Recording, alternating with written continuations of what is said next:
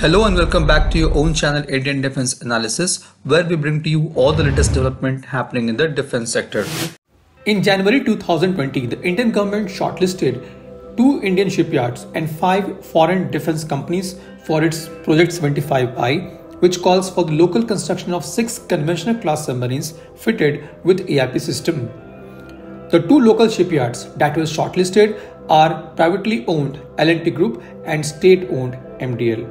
The five foreign OEM which were shortlisted are Daewoo Shipbuilding and Marine Engineering DSME, now rebranded as Hanwha Ocean of South Korea, Navantia of Spain, Naval Group of France, Rubin Design Bureau of Russia, and TKMS of Germany. The German's TKMS has signed memorandum of understanding with MDL in June 2023 for construction of submarines under Project 75I. As per the latest media report, the Spanish firm Navantia has also submitted its bid for Project 75I. The last date to respond to the RFP for this project is August 2023. In October 2022, speaking to the New Indian Express, the Spanish ambassador to India has said that India is considering buying submarines and several countries including Spain are taking part in the tender. The Spain considers that Navantia's offer is very competitive in terms of quality, cost, transfer of technology and indigenization. Navantia would be in charge of providing to the Indian Navy with state-of-art conventional AIP submarines if the Government of India considers the offer.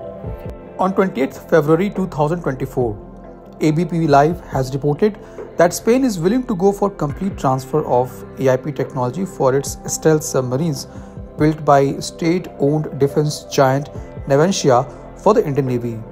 It is also offering submarines at a much lower cost compared to Germany's TKMS, which is another key contender for the deal. In today's video, we'll explore the S-80 Plus capabilities which is being offered by Spain and we'll try to find out if it can fit into the Project 75I requirement of Indian Navy. The S-80 Plus is the latest class of submarine being built by Spanish shipbuilding company Navantia. The submarine was designed in late 90s and was redesigned in mid 2010. Spain has planned to construct four submarines of this class with the lead vessel of this class S-81 has already completed its first trial and initial sea trial in mid 2022. It is expected to enter service by 2023. The remaining submarines of this class that is S-82, 83 and 84 will complete its construction and trials by 2027. S-80 Plus as claimed is highly automated submarine with state-of-art platform control system developed by Navantia system which allows it to be operated by a reduced crew of 32 sailors and 8 seats for boarding additional personnel capable of reaching a diving speed greater than 90 knots and a maximum depth of immersion greater than 300 meters. It is approximately 80 meter long and 7 meter in diameter and has a submerged displacement close to 3000 tons. The characteristic of this class of ship places them at a level close to those of nuclear propulsion. One of the major requirements of Project 75I, where Indian Navy is not ready to compromise is proven AIP system. The S-80 Plus is powered by three 1200 kilowatt bioethanol engines, one 3500 kilowatt main electric engine and one 300 kilowatt AIP system.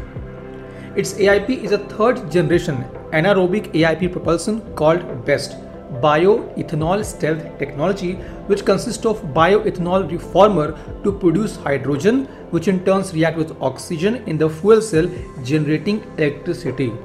This system allows to extend autonomy of submarine in immersion up to 3 weeks at a submerged speed of 4 knots which substantially reduces its level of detectability. The AIP system developed for submarine has completed its final test only in February 2020. Therefore, the first two submarines of this class that is S81 and 82 is not fitted with AIP system and will be retrofitted during their first major overhaul. So technically, S-80 plus submarine is yet to have an operational AIP. The submarine incorporates a combat system developed by Navantia in collaboration with US company Lockheed Martin with ability unique among the conventional submarines with similar characteristic to launch tactical land attack missiles. In August last year, Navantia performed official combat system test on S-81. The submarine features six 533 mm torpedo tubes which can fire DM-2A4 heavy torpedoes or UGM-84 Sea Harpoon Block 2 and UGM-109 Tomahawk cruise missile. The submarine is fitted with active and passive sonars with accurate electromagnetic detection system. The submarine can communicate via Link 11 and Link 22 data links. Now, interesting part. If we compare Kalvari class submarine with S-80 plus, there is no much significant difference which I can see in terms of capabilities. Both the boats are fitted with six 533 mm torpedo tube which can fire heavier torpedoes or anti-ship missiles or cruise missiles. Both the boats offer endurance close to 50 days. Kalvari class has a range of 12,000 km at a speed of 8 knots when surfaced and 1020 km at 4 knots when submerged. S-80 Plus has endurance of 8000 km. However, when we compare their size, S-80 Plus is much bigger submarine than Kalvari class with displacement close to 3200 ton when surfaced while Kalvari class submarine has displacement of just 1615 tons. Having lesser displacement and smaller size, Kalvari class submarine have smaller footprint overall. Further, Kalvari class needs less powerful propulsion system which contributes for most of the acoustic sound which attracts torpedoes. Therefore, Kalvari class seems to be much stealthier than S-80 plus. Both submarines are not having any operational fuel cell based AIP system which is primary requirement of Indian Navy and these submarines will get it only after their first major overhaul. The first boat under Kalvari class submarine is said to be retrofitted with DRDO's fuel cell based AIP in 2025. Therefore, in my opinion, Kalvari class submarine is still a proven and a better choice for Indian Navy than S-80 plus.